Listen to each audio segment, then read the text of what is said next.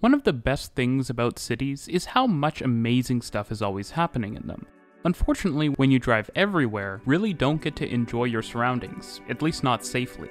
But when you take a train or bus, you can sit back and just watch the world go by, and that's pretty awesome.